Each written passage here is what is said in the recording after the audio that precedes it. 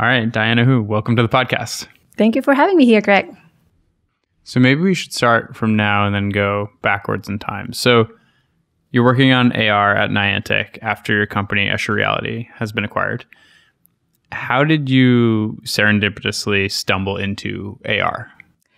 Into AR, well, AR is a funny field. It's not like a single discipline. AR is a culmination of so many fields. Um, to really build a great experience for augmented reality, you need, of course, part the computer vision aspect to be able to take sensor image data to understand the world, graphics to render it.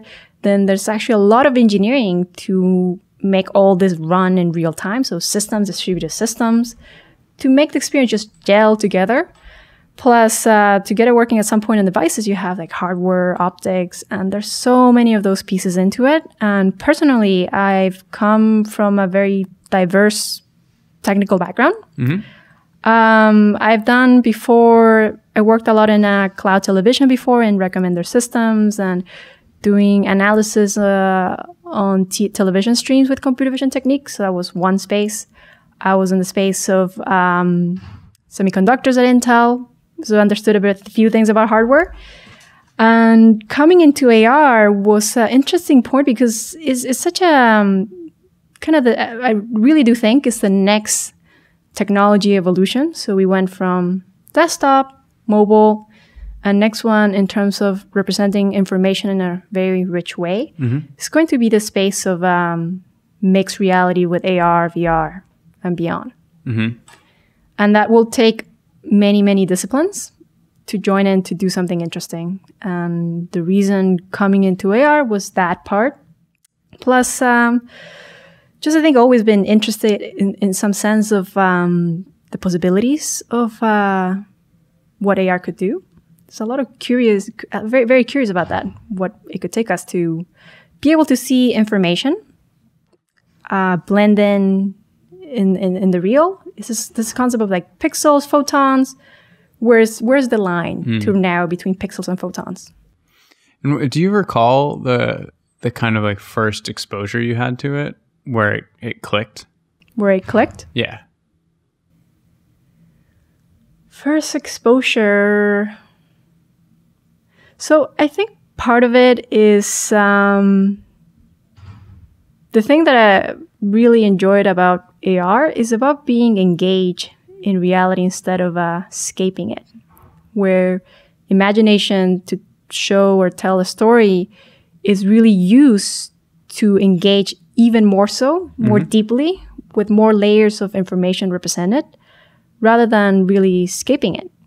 Where the magic in in AR is not it's not just whimsical. The reason why magic is so magical is that in AR is that you see a lot of the digital representation believable there. And the first time I, couple projects that I done, I, I, there's some in the past mm. I hmm. did uh, help some startups build some some projects way way back. Uh, one of them was building a 3D light field display. So basically, you could see 3D without glasses. Mm. So it's like, oh, that's really cool. It's like holograms in in, in, in Star Wars. So that that was one part. And then you start peeling the onion of what are all the pieces needed from the technology and, and AR as a fundamental piece to build this new kind of uh, infrastructure to just change the way we do computation for information. Mm-hmm. And so, obviously, like Niantic, you're working on games. Mm-hmm. Um, at what point do you think AR becomes this kind of like first class citizen in media, you know, alongside video, photo, I guess audio. Yeah, I think it will. Um, it will take time because we're at the, at the early stages. I think the progress of um, technology has like different cycles. I mean, if you read some of the work by um, like Carlota Perez was an econo- economist talking about innovation cycles. There's like big two stages. Stage okay. number one is when technology gets installed, quote unquote, Mm-hmm. Uh, so installation types of technologies are when the applications are not ready to be built because you really need the tooling to be able to express those applications. And examples of types of installation types of technologies are just like network infrastructure, operating systems, uh, programming languages, all these levels of abstractions that are needed because you're not going to, let's say an example, today it would be crazy to program a website based on assembly, right? So you really need those abstractions to be built to be able to have a richer way of creating experiences that are more advanced mm-hmm. because you do, you want to kind of build on top of the abstractions always. So AR is kind of in that phase of really building the the installation phase of solving all the hard problems so that you get to a very expressive world in the future that I imagine where AR programming in AR could be just as simple as uh, spinning up a website. Because right now it does require a lot of uh, very specialized um, understanding to create AR experiences. Because there's there's things with um, 3D 3D environment development that are very good mix for game. This is why game is also very good for AR in the early stages. That's kind of the part one. And just to give you, just to close this, uh, the second stage for for this uh, technology cycle is the deployment phase.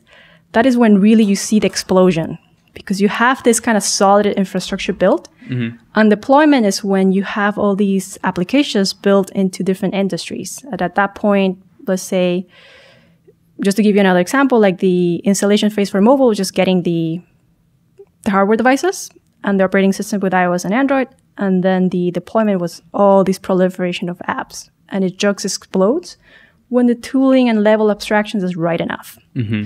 So for AR, just to close that, we're not there yet at all. There's a lot of groundwork that needs to be done. There's some early showcases because you do need examples of applications to be able to inform and build the right kind of OS infrastructure to accelerate that. And in particular, for Niantic, is an exciting place to be because we do uh, build a lot of real world games that, that are in the bread and butter and functions that very good information internally in the company to really take that knowledge to really build this uh, this platform that we call it the real world platform, the Niantic real world platform. Yeah, and and going further than that, as you talk about, you know, expanding past games into other, you know, markets, what are what are the signals you're looking for that you're even building the right thing? You know, you're like think about it in the context of like product market fit, right? Like, how do you even know you're going in the right direction? Because you can make analogies to the, you know, the software stack in in the web, but like it could be the wrong direction, right? Yeah, it could totally be the wrong direction, right? I mean, it's just kind of making educators get sometimes. Yeah. And the thing about AR is actually it's not a completely new concept. The concept of augmented reality actually has been since came out way, way back, even in the 70s or with the first, actually the first uh, VR headset might have been even the 6 don't recall the exact date, Yeah. but it was by this kind of monster thing called the Sword of Damocles. It was like this Really? giant thing. Yeah. Okay. It's like early in days where people were just exploring things to how what would it mean to display things directly to people's retinas. But of course, the computation power wasn't there, the optics weren't there. There's a lot of challenges not quite there yet. Uh, but things with uh, AR, more concretely, got a head start in the 90s with uh, flight simulators. Mhm. But that's like super high end stuff that is only available to um, like the government, right? Yeah. and it takes a couple cycles to really get the technology at a price point ready for consumers. Still kind of in the process of it. So I think the timing and knowing AR has been it's not necessarily new, new, new, but it is kind of the timing is getting there. There's a couple of things that are exciting why we decided to tackle AR, and the, one of the things actually about starting companies, you could have a great idea, you could have a great team, and also great investors, but sometimes the timing is just something you don't control. And you could have all those other things be amazing, but the timing is so hard. And that's what gives you sometimes that multiplier effect. And the fact of it is just so many things coming back to the first question, things outside your control and in the environment. So for AR, it came to be to couple trends in technology that really made sense. So a couple of them, one, it is uh, AR is tagging a lot along a lot of the infrastructure that uh, the mobile mobile world built. Like it is very easy now to build um, like a phone if you want it. There's like the supply chain for all the components, sensors and cameras and even processors, SoCs, super cheap. And that is easy, and, and that is getting reused. In fact, for a lot of the hmm. now versions of AR headsets to hit the consumer price point. Mm-hmm. So riding that wave was like building on top of that infrastructure built by mobile, like repurposing and swapping some things, and still the optics needs to be figured out. But a lot of those can be reused from the mobile space. So second technology trend that really hitting for AR to be something real. Um, besides Moore's law, Moore's law, everyone is familiar with, with computing getting faster every 18 months, twice, kind of, kind of, just Sometimes. like, kind of, sometimes. I mean, Yeah. now it's more about uh, many cores. Uh, so you could do more complex uh, computation for algorithms in tiny devices, right? The other thing is um, I don't hear many people talk about, but there's many versions of Moore's law, but for other other things like Koomey's law, Okay. It's very similar. Every 18 months, uh, with the exact same computation, is going to be uh, half the power efficiency. So what that means, which is if you really look at the numbers, the which uh, last time I looked at it, the iPhone 7 beats an all benchmark for CPU and power and sorry for CPU loads or GPU loads when you compute something, as much as any MacBook Air that has been launched at a fraction of the power.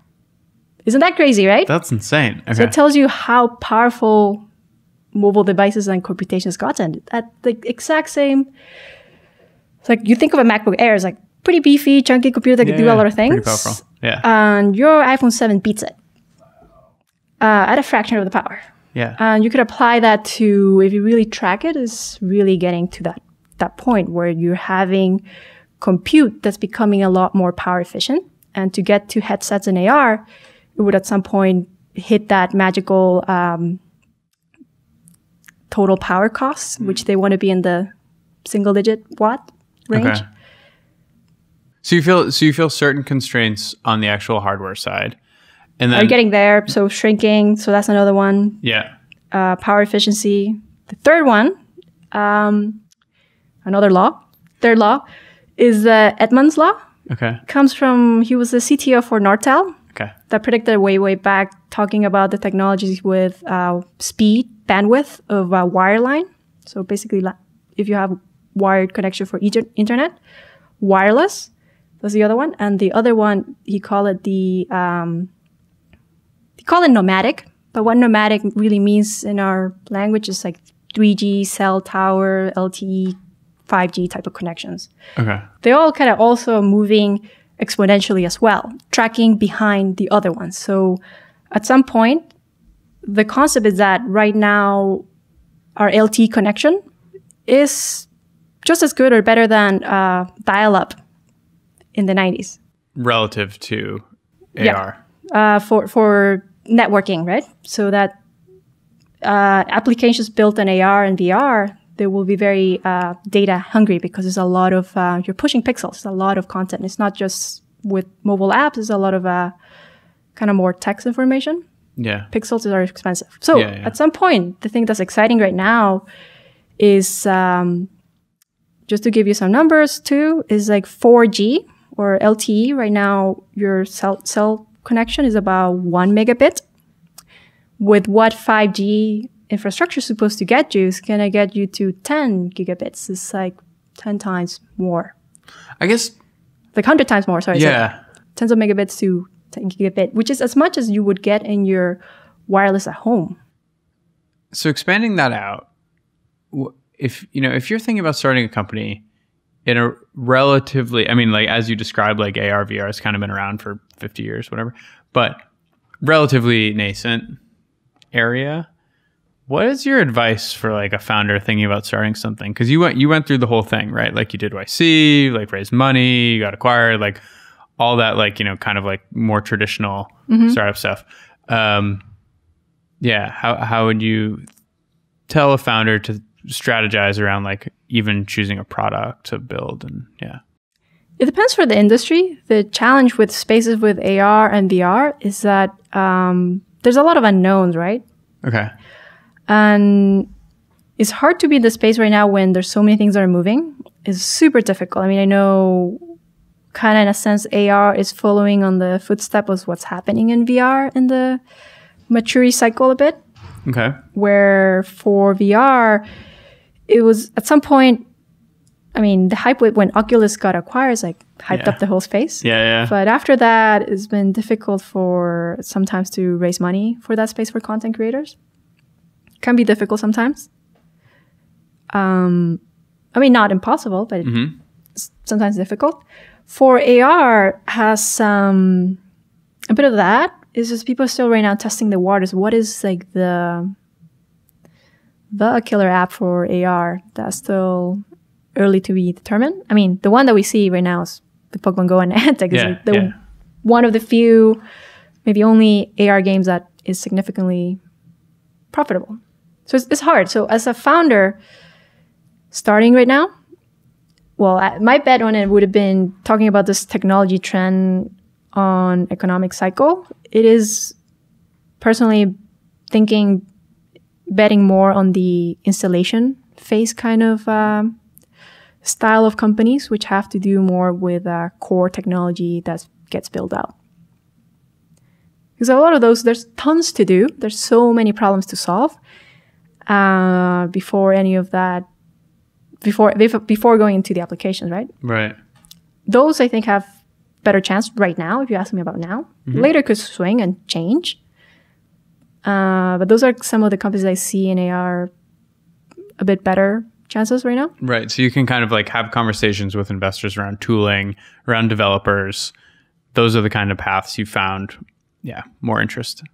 Yeah, but it's also a bit challenging because as, as a tooling and infrastructure company, the investor are going to ask you, okay, do your customers who are developers make money? Right. Yeah. Are they just like kids goofing around in their basement? Like, yeah. It's just it's hard to it's, it's- you kind of have to sometimes find the believers on that. So creating c- technologies in kind of this emerging tech sometimes is difficult because of this. Is Yeah. uh, So what- finding what, was that process like? How did you find the right right folks? So, in, in one sense, we we had the good timing that ARKit just got launched at that time. I mean, Yeah. that's another funny story when it got launched. So there was a lot of uh, positive uh, enthusiasm for the space around that. Yeah. That was one. The other one, we were lucky to really get connected with investors that really believe in this future and with us that it would take a long time. So we got um, backed up. Our lead investor for our seed round was uh, Jeff Clavier from um, Uncork Capital, who really was with, uh, with us in really believing where all these pieces were coming about and, and really taking that bet on us. And besides that was also Founders Fund, also seeing that vision with us that, yes, this makes sense. So it's kind of finding those, those kind of people. So were those folks through demo day, through intros? How did they find you? Because I think where Mm. invariably people are asking me like, how do I find the right investor who Right. will support my my vision? So part of it is through the YC, Through YC. brand carries a lot of uh, gravitas in a sense.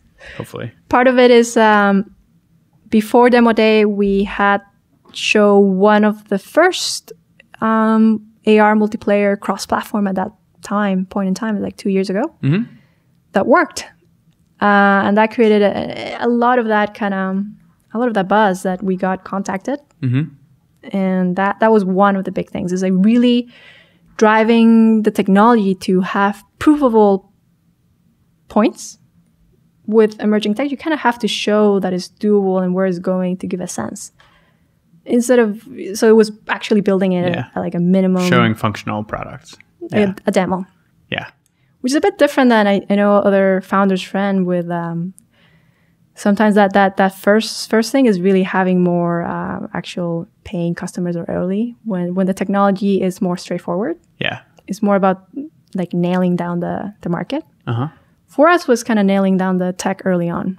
Okay. And then once you showed people, they were like, either I don't think so, not right now. What, what were the what were the responses like? I think when they saw it, the demo we showed was um, Pong in AR. We took Okay. like a classic one, Yeah. classic classic game, and showed it how it would. You have a ball of fire bouncing on the ground or the wall, and it would scorch the ground, and that just really connected with people. It's just that kind of thing that people's like, oh wow, so it, it, took some time to figure out that exact thing. I was a weird, more technologist to come up with that. So I was working with a lot. Um, I guess um, what, what I'm kind of asking is like, you know, the, the, people who didn't say yes, who hmm. maybe gave you a no or like a, you know, maybe if this develops further, which is basically a no. How did they, those conversations play out? Because I'm trying to like put myself in the shoes of someone else who's trying to raise money in one of these like newer markets. Yeah, the thing about those is that at times it is it is kind of scary to bet in this space when yeah, there's very unknown. And it is finding kind of really those investors that are independent thinkers. Because sometimes it's funny is when someone invests, then all the other people follow. Yeah. That's kind of eh. Yeah. Uh, but you keep trying. It's sometimes just connecting those and I think I'd rather really take someone really on board with the with the vision to be with you to weather mm-hmm. Weather the future to right. do it. That's um, that's way better. Yeah. But, but, but yeah, I mean, with everything is I mean for us it's, it's, it's a bit of an anomaly how it happened, but we did get some no's, but it's okay. You kind of go and keep trying, right? It worked out. It worked out. Yeah. So related to working out, you are now at Niantic as a founder? I mean, because you guys weren't around that long before the acquisition happened. Yeah, that's uh, another unusual yeah. thing too. That was super. I mean, it had to be one of the fastest in YC. Yeah, we were just joking. But it was like, I don't know if that's a good record to set. Yeah, yeah, for better or worse, for sure. Um, but regardless, it happened. So there, there are some founders who have been on the podcast before who are now at larger companies that have acquired them. What's your advice to to a founder who's now at a big company, who's managing people, leading team, working on stuff. How do you make the most of it? Because you would just put, you know, your kind of like your heart and soul into something that you started, and there's there's a degree of passion in your thing that's really hard to feel for someone else's thing. Hmm. So how do you make it work and and get satisfaction out of it? It's a very good question. I mean, part of it for us why Niantic was a good fit is that the vision of what Escher Reality started as, we are still building it. So that's a huge motivator to continue do that, mm-hmm. to do that. Um, that's huge to be able to at least do that. I know it's not a luxury for every acquisition, but to be able to do that and still have uh, some of the freedom and the trust from um, from the founders at Niantic is great. Mm. The other thing is, um, I guess the way like to tell Niantic's still also a startup, but it's a much larger scale. Mm-hmm. The way sometimes is thinking about it is uh, kind of taking Escher, which was a seed stage, skipping it and going to Series B. okay. It's like skip, fast forward. Yeah, That's yeah. what it felt like. The other thing is to take this opportunity and reframe it a bit is still a very valuable space to learn other kinds of skills. So now it's kind of more taking in that hyper growth company. I mean, we, when we joined the company, I mean, from last year to this year, it's like at least 5x. It's crazy. 5x employees. Yeah. Yeah. So that kind of growth and be part of that, that was also exciting and learning other kinds of skills and reframing those because it's, kind of leading in a bigger, bigger scope. Mm-hmm. And that's that's part of it that kind of worked out. And I know it's like a lot of it comes down to relationship with people, is having a good rapport with the leadership, executing and getting all those all those things aligned. And I mm-hmm. know sometimes can be can be difficult because it's different cultures, right? It's kind of like uh, immigration, right? Immigration. Yeah. Uh, there's there's a mutual respect for things that we can learn from from each other and work together as uh, eventually there's a path to feel as a single company to feel like now I feel as a Niantic employee, right? Hmm. It's not, and that is when it starts kind of more working out to really feel that that bought into where Niantic is going, and that I am excited with, with where we're going. Yeah. And at this point, it is it is exciting to see all the things that we've done. I mean, a lot of the um, demos that we showcased last year created the splash with AR, where a lot of the work in my team, yeah. which is great. And other things this year announced in Niantic that are also great. We announced the developer context, where we um, allowed invited, made it a contest, invited uh, 10 selected, selected, that's the word, selected 10 developers to work on our platform to see what else they could build outside of the Niantic uh, world. So that was like started as a conversation with one of the leaders at Niantic, one of uh, with Ed, who was one of the platform. Uh, he leads the platform, the other parts of the platform for Niantic. Started as a conversation last year, and then it became a thing this year. Yeah. And it's been great to be welcomed by by people like like Ed and to work on something bigger together.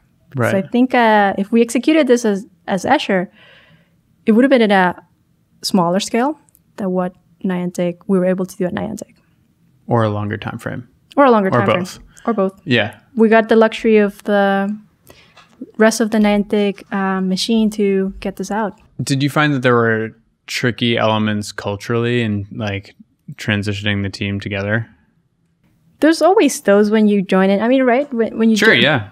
those kind of happen, and part of it is um, having taking time, patience to work through those things, and having faith in the long term.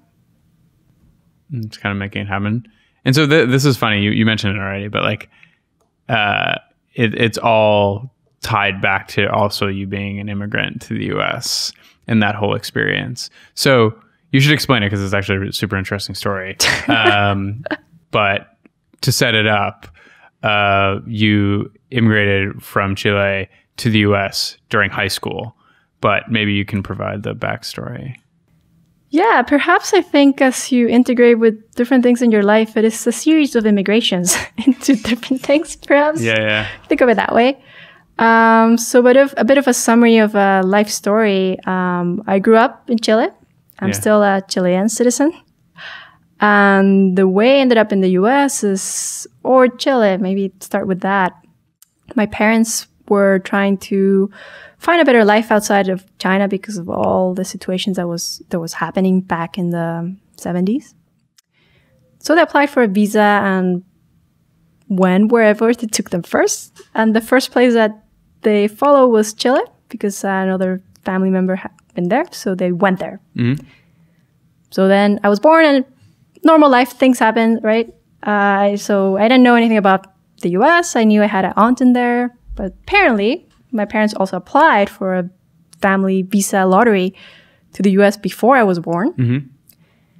And happenstance, which is really bizarre, that went through um, when I was around 16, 17. And then uh, my parents says like um, that it was very difficult to immigrate because you leave all your roots, learn a new language, unknown environment, start your scratch, your life from scratch, from zero. You're dropped in the middle and do that. It's like we've done that once already. we could do it again, but it's really hard. Um, but think of it, take this opportunity to do something. I know they was seeing that I've been always curious and been good at tinkering with things and math. It's like take this opportunity to to do something. It's like you might end up doing something interesting. I was like, I, I knew I had to take that chance because otherwise I would regret it forever.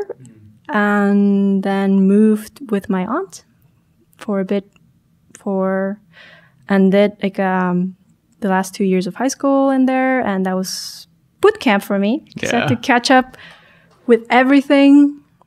Um because the education in Chile is not great.